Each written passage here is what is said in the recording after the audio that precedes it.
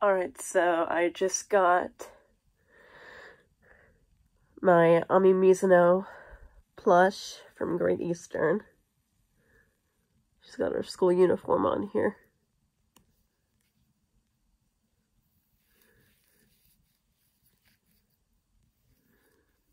I really don't get why they partner her hair up there. It makes it look really weird when the um, bangs, I guess, are in the right place, but I don't know why they did this.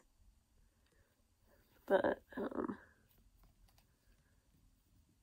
the collection's growing.